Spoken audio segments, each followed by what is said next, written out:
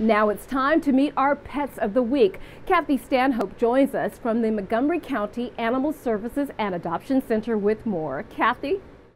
As you can see, we have lots of red ear sliders right now. They're turtles and they live a long time and we have about seven or eight that need to go to homes. They do not need to be adopted together. You can adopt one at a time.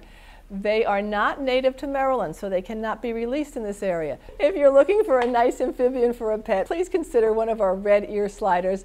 They are lots of fun and they are nice pets. They're interesting to watch. So give us a call at 240-773-5900 or visit the turtles on the web at montgomerycountymd.gov slash ASD. And remember, you can always look up more information about red ear sliders on the web and find out if a turtle would be a good pet for you.